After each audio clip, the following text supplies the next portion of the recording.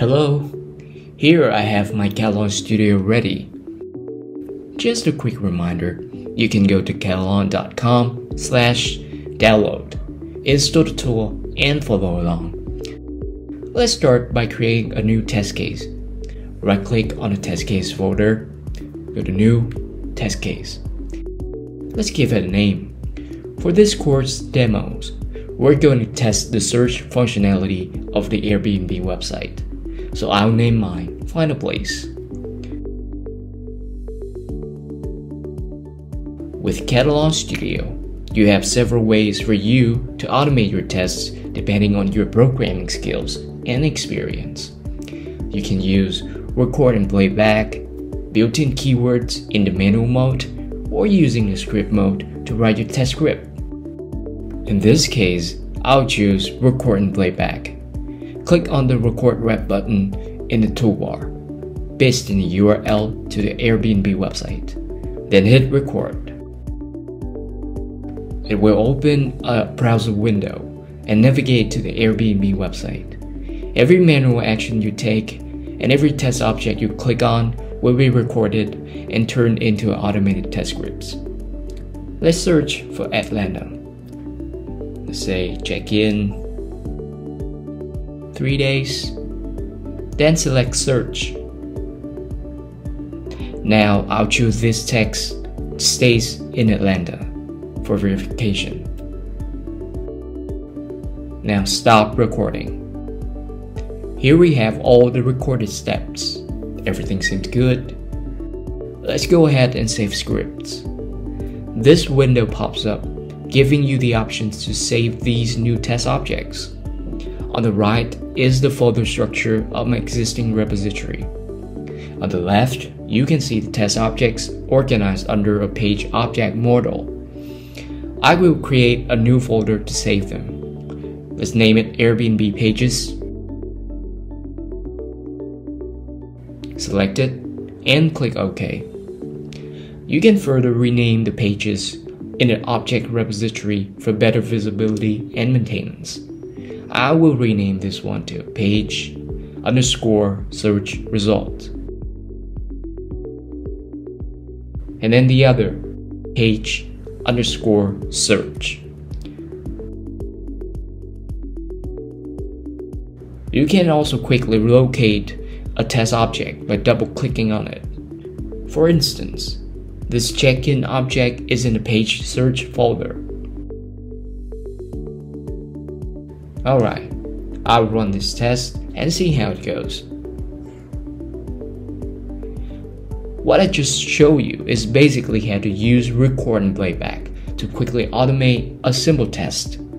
To learn more about this low-code approach, you can check out our Katalon Studio record and playback course. Well, after finishing this course, of course. Our test run is finished and it's passed. Now, what if you need to test with more test data? Let's say more cities.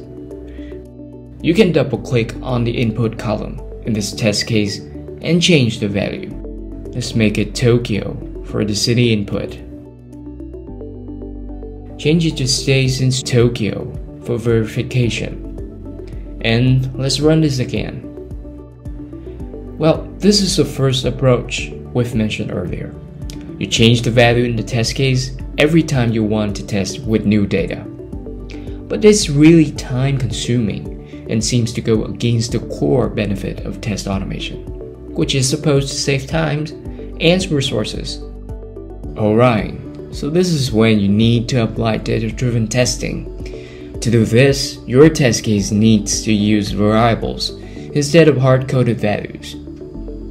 Select the test case. Click on Variables tab. Select Add.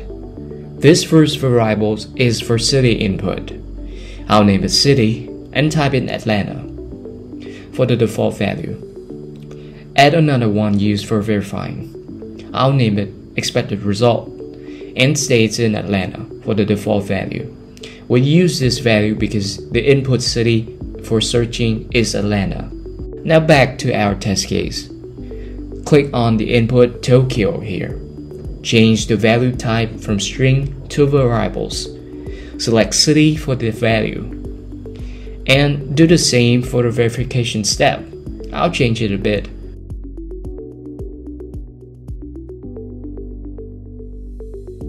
Switch the value type to variables and choose expected result. And don't forget to save it. I'll run this test and see how it works. It will use the default values added for the two variables to fill in the location and verify the text on the search result page. So it passed, as expected. The first step is done, setting up variables. Let's move on to put this test case into a test suite and continue to prepare our data file. At the moment, the current studio version I'm using 8.2.5 only support data-driven testing at the test suite level. However, in the next versions, from 8.3 onwards, it will also support the test case level. That means you'll be able to bind test data to both test suites and test cases, depending on your test scenario and needs. Alright, I've already created a suite here. Click Add and choose the test case to put in it. Next, click on Show Data Binding to map test data with the corresponding variables. You can see that the two variables we created have already been loaded for the variable binding. Right above is the test data section. Since we haven't created anything yet, it's all blank. To create data file, right click on the data files folder on the left. Go to New, Test Data. Give your data a name I'll name it 100 cities. Here we have many data types, but let's go for internal data first. Then choose OK. It will open a tab for us to work on our data. Click on the Add icon to create a new data column. This first column is for the city input. I'll name it city. For the second column, I'll name it result, which will be used for verification. After that, add in some values for these columns. Let's go for three cities. Atlanta stays in Atlanta. Tokyo stays in Tokyo. And New York stays in New York. Again, don't forget to save it. Back to our suite and data binding. In the test data section, click Add, choose 100 cities data, which we've just created. Click OK. As our data has been added, continue to select Map All. It will bind the variables of the test case to the data column with the exact same name in the data file.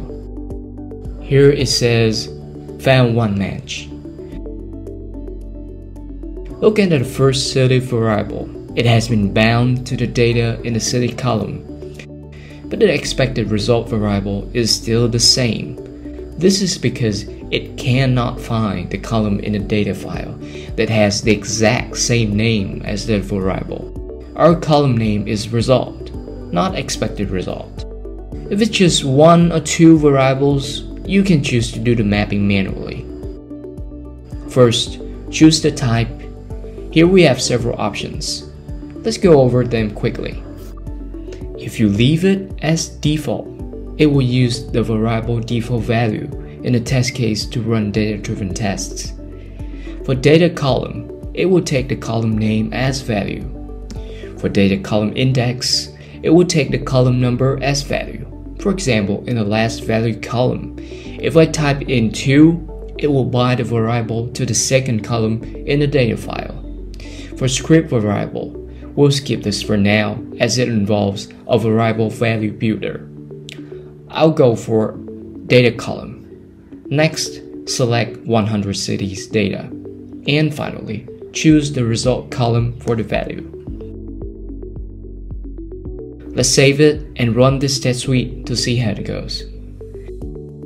This test case will be executed three times, each time for a dataset, or we can say there will be three iterations. An iteration is a test case executed with a row of test data. The first test is looking for a stay in Atlanta. done, and close. Then it opens a browser again and continues with Tokyo.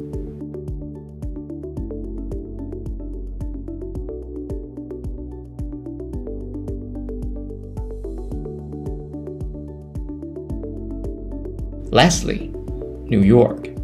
All the steps are mostly the same.